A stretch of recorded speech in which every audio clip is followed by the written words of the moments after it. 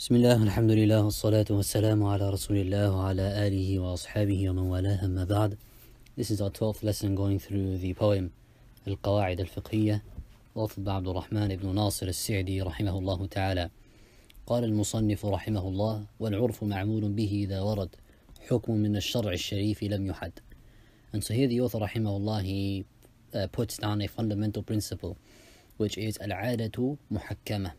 العادة محكمة i.e. معمول بها and so what's meant by it is that the uh, there are certain terms in the sharia that come generally and the sharia doesn't put a specific definition down for it and so the definition returns back to the customs of the of the people so for example the sharia obliges us to live with our wives بالمعروف قال الله تعالى وعاشروهن بالمعروف and be with them in معروف what is ma'ruf? The term ma'ruf refers back to the urf of the people, the customs of the people. What the people see to be ma'ruf, then that is what you have to come with when it comes to uh, residing and being with your with your wives.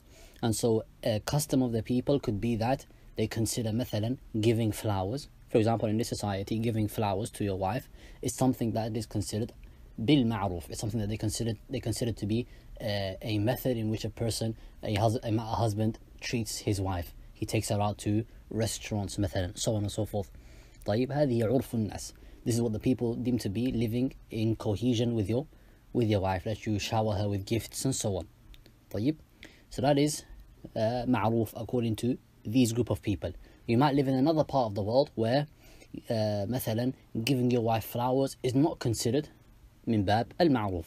It's not considered from the types of, or from the things that fall under al-ma'ruf.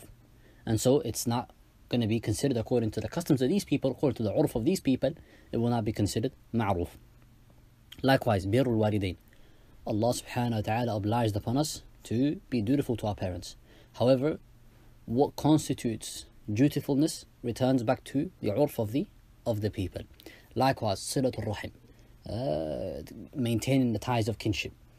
What is considered maintaining ties of kinship in your society, in your customs, that is what is uh, considered to be Silat al-Rahim.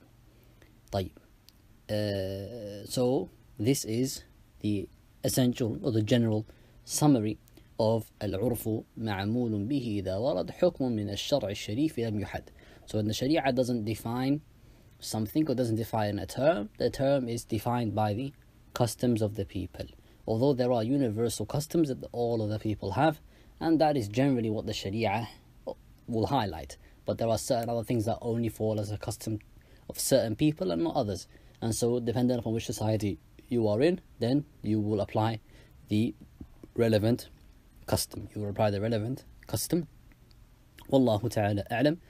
سبحانك اللهم وبحمدك أشهد أن لا إله إلا أنت أستغفرك وأتوب إليك والسلام عليكم ورحمة الله وبركاته.